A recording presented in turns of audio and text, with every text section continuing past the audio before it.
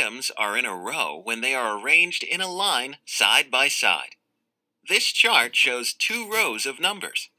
What numbers are on the top row? 1 to 10 are on the top row. What numbers are on the bottom row? 11 to 20 are on the bottom row. Find the blue number on the number chart. Count forward until you reach the stop sign. What numbers do you count? Which of the numbers are you counting forward from? You are counting forward from 8. Which number are you counting to? You are counting to 13. Count forward. 8, 9, 10. What happens when you run out of numbers on the top row?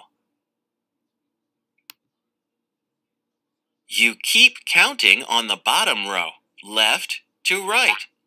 11, 12, 13. Did you count 13 numbers to get to 13? Why or why not? No, you started counting from 8, so you only counted the numbers from 8 to 13. Which numbers did you count? 8, 9, 10, 11, 12, 13. What do you notice about the numbers as you count? Each number you count is one more. The count sequence is the same as usual, even though you don't start with 1. It's just a different part of the same count sequence that you always use. Great job!